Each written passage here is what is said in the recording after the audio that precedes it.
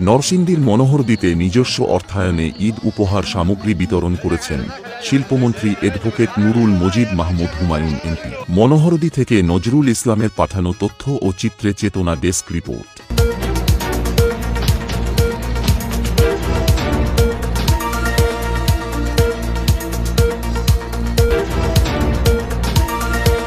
শুক্রবার সকালে মনোহরদী সরকারি পাইলট উচ্চ বিদ্যালয় মাঠে উপজেলার সাত শতাধিক প্রান্তিক জনগোষ্ঠীর মাঝে এই ঈদ উপহার ও নগদ অর্থ বিতরণ করা হয়।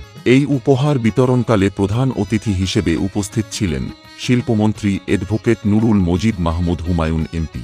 এ সময় উপস্থিত ছিলেন মনোহরদী উপজেলা নির্বাহী অফিসার হাছিবা খান, বাংলাদেশ কেন্দ্রীয় যুবলীগের সদস্য মঞ্জুরুল মজিদ মাহমুদ সাদি জেলা আওয়ামী লীগের যুগ্ম সাধারণ সম্পাদক নজরুল মজিদ মাহমুদ স্বপন, উপজেলা আওয়ামী লীগের সাধারণ সম্পাদক প্রিয়াশিস রায়, পৌর মেয়র আমিনুর রশিদ সুজন, মনোহরদী থানার officer in charge Abul Kashem Bhuiyan PPM, উপজেলা স্বেচ্ছাসেবক লীগের সাধারণ সম্পাদক তৌহিদুল আলম, জেলা পরিষদ সদস্য ইসরাত জাহান তামান্না, পৌর কাউন্সিলর মাসুদ রানা, দৈনিক ইত্তেফাক পত্রিকার নরসিংদী প্রতিনিধি নিবারণ রায় প্রমুখ।